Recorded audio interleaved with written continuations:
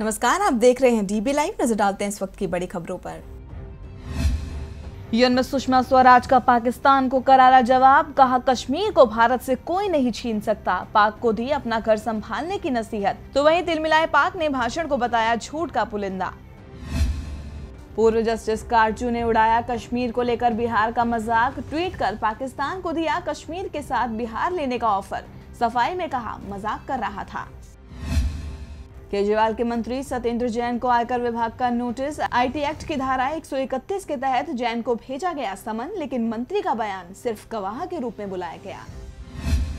दिल्ली के नांगलोई में स्कूल के अंदर टीचर की चाकुओं से गोदकर हत्या। स्कूल से निकाले गए छात्रों ने दिया वारदात को अंजाम, दो आरोपी छात्र हिरासत में लिए गए।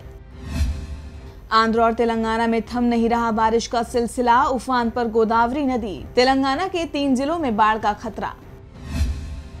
अमेरिका में प्रेसिडेंशियल इलेक्शन से पहले आमने सामने आए ट्रंप और हिलेरी। बहस में हिलेरी ने ट्रंप को इकोनॉमी के मुद्दे पर बताया फेल बीसीसीआई की ओर से सिफारिशों की अनदेखी करने पर लोढ़ा समिति नाराज़, अवरोध को लेकर उच्चतम न्यायालय को रिपोर्ट सौंपेगी समिति। तो ये थी इस वक्त की बड़ी खबरें, देखते रहिए डीपी लाइव क्योंकि यहाँ है खबरें लगातार।